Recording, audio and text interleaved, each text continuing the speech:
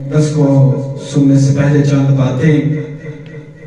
मैं जब भी खुदा के फजल से खुदा के कलाम को लोगों तक पहुंचाता हूँ, जब भी ये शर्फ हासिल हुआ तो उससे पहले मैं शुक्रगुजारी खुदा के ज़ोर रखता हूँ कि मैं खुदा से हमेशा शुक्रगुजार रहता हूँ। खुद मैं इस लायक तो नहीं कि खुदा का कलाम लोगों तक पहुँचा सकूँ, लेकिन ये खुदा का गहरा फजल है कि खुदा मुझे अपने जलाल के लिए इस्तेमाल करता है।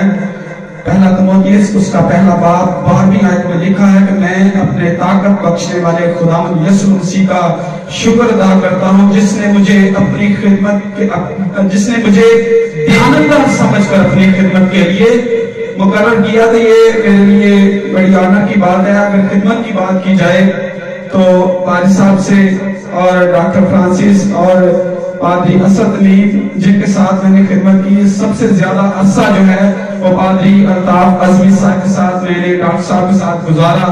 इनसे मैंने सीखा, आज अगर यहाँ खड़ा हूँ तो इनकी बदौलत आज यहाँ पे खड़ा हूँ। ये खुदा का बड़ा फजल है। डॉक्टर साहब थैंक यू डॉक्टर साहब थैंक यू आपने हमारी रहनमाई की हमें बताया कि किस तरह से आप खुदा के जलाल के लिए और खुदा की खिदमत में आगे बढ़ सकते हैं। तो आए हम खुदा के कलाम की तरफ़ बढ़ेंगे। खुदा के कलाम को सुनने के लिए आज हम खुदा से नया दिल, नई रूह, नई अकल, नई सोच मान चुके हैं। यकीनन खुदा के फजल से आज हम जब के खुदा को, खुदा के कलाम को सुनेंगे तो यकीनन महज उस पर अमल करने वाले भी बनेंगे। बिस्मा रबना यशवर सी अल्लाह सजूद, वजीहत सी दुनिया।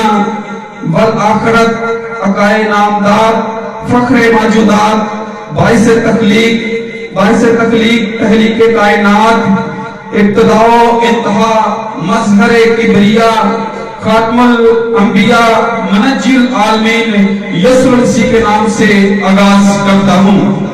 आज हमने खुदा के कलाम में से सुना मुकद्दस यूहन्ना उसका पहला बाप उनतीस आयत में लिखा है, दूसरे दिन उसने यीशु को अपनी तरफ़ आते देख कर कहा, देखो ये खुदा का बर्र है जो जहाँ के गुनाह उठा ले जाता है। हालेलुया। आज हम मिलकर खुदा के कलाम को सीखेंगे। खुदा के कलाम को लिखा है कि देखो ये खुदा का मेरे साथ आप इस आयत को रीड करेंगे। देखो ये खुदा का जो के गुनाह उठा ले जाता है। आज हमने इसी आयत को सीखना है कि जो खुदा है, वो किस तरह से दुनिया का गुनाह उठा ले जाता है। खुदा के कलाम में लिखा है कि एक आदमी के सबब से गुनाह आया। सबसे पहले खुदा ने आदम को, अम्मा हवा को पैदा किया। जब उनको पैदा किया तो बाइबल मुकदस में लिखा है, नए आयतनामे में कि एक आदमी के सबब से गुनाह आया। तो सबसे पहला जो उनकी ज़िंदगी में काम था, दुआ करना, शुक्रगुजारी करना, और ये शुक्रगुजारी का सिलसिला चलता चलता काहिन और हाबल तक जा पहुँचा। शुक्रगुजारी करते थे। जो यहूदी थे, वो एक बछड़ा लेते थे और उस पर अपने सारे गुनाहों का जो बोझ था, वो रखते थे और जिबा करते थे तरह तरह की कुर्बानियाँ करते थे। ये जो गुनाह है इसने सारी इंसानियत को, चरित्र को, प्रिंत को, हर एक चीज़ को इसने अपनी लपेट में ले लिया और खुदा के कला में लिखा है, गुनाह की मजदूरी मौत है। जबकि इस गुनाह ने हर एक चीज़ को मुतासर किया, जब इसने हर एक चीज़ को मुतासर कर लिया तो हर एक चीज़ गुनाह करती आई आज भी हम देखते हैं कि हमारी ज़िंदगी में बहुत सारे गुनाह पाए जाते हैं। हम तोबा करके पुछवाते हैं। यकीन और खुदा की हजूरी में तरह ब तरह की नजराने भी गुजराते हैं ताकि हम गुनाह से बच सके और खुदा की गुर्बत में आगे बढ़ सके।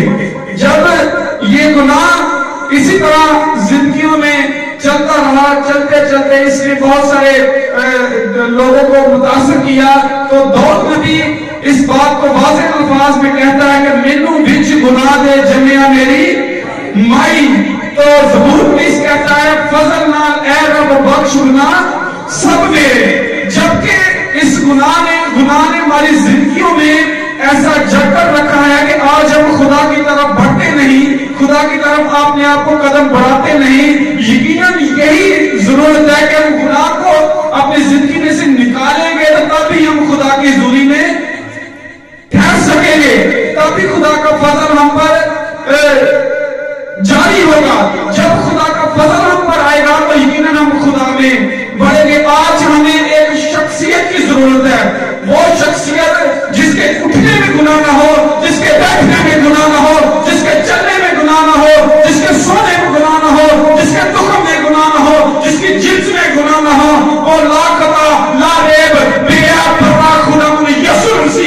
जिसके बारे में कहता है जो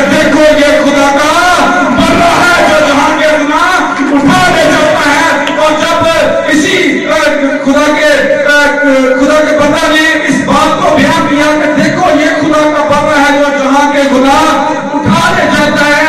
क्योंकि जब खुदा में यसु मसीह इस बात को बयान कर मुकदस यूहन्ना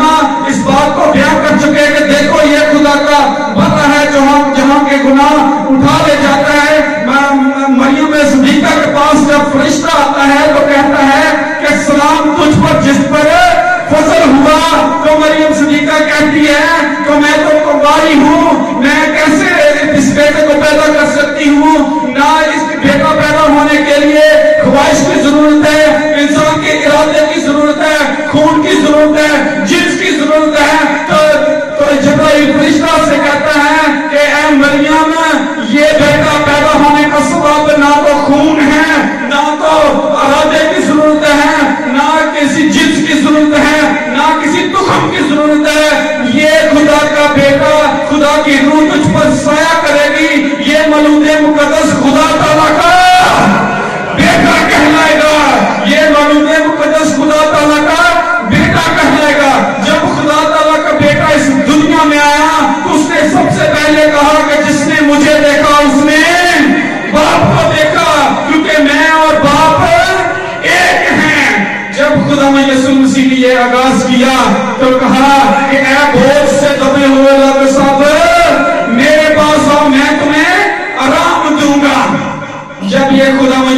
मसीह ने ऐलान कर दिया तो आगे जब हम उनकी ज़िंदगी में देखते हैं तो उन्होंने हमारी खताएँ, हमारे गुनाह अपने ऊपर ले लिए, क्योंकि उसने कहा कि ऐ बोझ से दबे हुए लोग सब, मेरे पास आओ, मैं तुम्हें आराम दूँगा। जब खुदा यसु मसीह ने ये ऐलान किया, हम उनकी ज़िंदगी को अगर देखते हैं तो जब उन्होंने हमारे गुनाह अपने ऊपर लाद दिए, अपने ऊपर उठा दिए तो यकीनन उनको बहुत सारी अदालतों के अंदर पेश किया गया। मुख्तर अल्फाज में बयान करूँगा, जब उनको यहूदी अदालत के अंदर, रूमी अदालत के अंदर, शरई अदालत के अंदर पेश कर दिया गया कि उन, किसी ने कहा कि ये कहता है कि मैं जा तेरे गुनाह माफ़ हुए।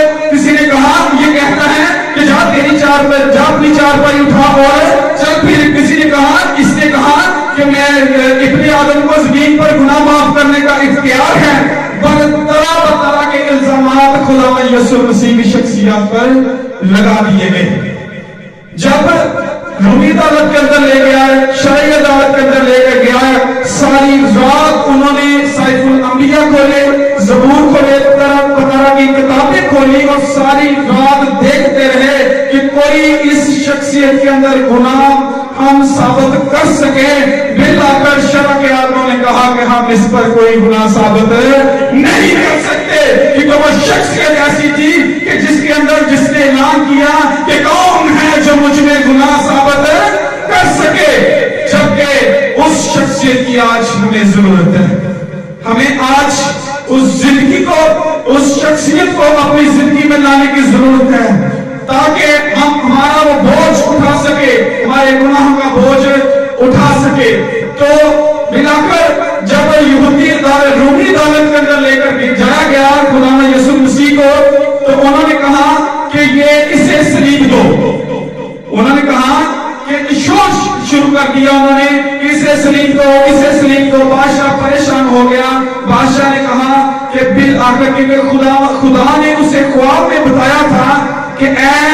बादशाह तू इसमें गुना साबित नहीं कर सकता ये बेअब बढ़ना है। ये गुनागार नहीं, इसमें तू गुना साबित नहीं कर सकता। जबकि उन्होंने कहा कि इसे स्लीप दो, इसे स्लीप दो, इसे स्लीप दो। जिस तरह से मैंने पहले आपको बताया कि तारा बतारा के इल्ज़ाम साधन कर दिए गए कि इसे स्लीप दो। जब यही बात वो करते चले गए तो बादशाह ने कहा बिलाकर बादशाह ने कहा कि पानी लाओ। जब उसने पानी लाया, हाथ धोकर उसने कहा कि न इसने गुनाह को साबित नहीं कर सकता क्योंकि खुदा ने जिस तरह से उसे कहा कि फिर वही बात कि उसने कहा कि कौन है जो मुझमें गुनाह साबित कर सके? जिस तरह से पहले मैंने कहा कि यहूदियों की यह रवायत थी तो वो साल बाद एक बछड़ा लेते थे, बछड़े पर अपने गुनाह लाद देते थे। उससे पहले जो सरदार कायम होता था, वो उस बछड़े की इन्वेस्टिगेशन करता था। ताकि इसमें कोई गुनाह नहीं है, जबकि उसका गुनाह नहीं होता था तो फिर उसकी कुर्बानी की जाती थी। इसी तरह खुदा मसीह ने हमारी खताओं को, हमारे गुनाहों को अपने ऊपर लाद दिया स्लीप उठा ली जब वो कोहे कलवरी की तरफ़ बढ़ा तो उसकी दाढ़ी को नोचा गया, उसके कांटों पर सरों पर, सर पर कांटों का ताज रखा गया, उसके मुँह पर थप्पड़ मारे गए, उसकी पोशाक को टुकड़े टुकड़े कर दिया गया किरमसी का चोला पहना दिया गया तन बतन किया गया जब उसको कोहे कलवरी की तरफ़ लेकर जाते कम चालीस कोड़े लगा दिए गए, फिर सलीब पर लटका दिया गया। कलामी मुकदस में लिखा है जो लकड़ी पे मुआ वो लानती हुआ। खुदा यसु मसीह ने हमारी खुदाएँ, हमारी हमारे गुनाह अपने ऊपर लिए, और जब खुदा यसु मसीह सलीब पर उन्होंने छह कलमात सादर कर चुके थे, उस तरफ़ यहूदी जो है वो अपनी कुर्बानी चढ़ा रहे हैं। फसा की ईद का वक्त फसा की की कुर्बानी का वक्त आ गया। जब छह कलमात खुदामा यीशु मसीह ने ब्याह किए तो फिर आकर हैकल का पर्दा दो टुकड़े हो गया। हैकल का पर्दा दो टुकड़े हो गया। पहाड़ लर्ज गए, ज़मीन लर्ज गई जो वो कहित था, जिसने के हाथों में बछड़ा था, ताकि वो उसको जिबा करे, उसको पाक तीन मकान के अंदर ले जाया जाए। ताकि अहद के संदूक के अंदर उस खून को छिड़का जाए ताकि गुनाहों का कफारा हो सके। जब खुदा में यसु मसीह को नौ बजे स्लीप पर लटका दिया गया, जब खुदा में यसु ने छह कलमात सबर कर दिए गए, जब एक बड़ा भूचाल आया हैकल का पर्दा दो टुकड़े हो गया तो हैकर सरदार क्राइम के हाथ से छुरी को छुरी छूट गई और वो नीचे गिर पड़ा और बछड़ा उसके हाथों में से निकलकर भाग गया तो खुदा यसु मसीह ने कहा, तमाम हुआ। खुदा यसु मसीह ने कहा, तमाम हुआ। जब खुदा यसु मसीह ने कहा, तमाम हुआ तो युहाना अस्तबाजी जो कहता है, देखो, ये खुदा का बर्रा है जो जहाँ के गुनाह क्योंकि असल से सिवा हुआ गया बर्रा?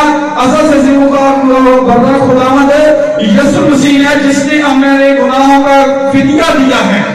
आज हमें उस शख्सियत की ज़रूरत है। आज हमें उसको अपनी ज़िंदगी में लाने की ज़रूरत है।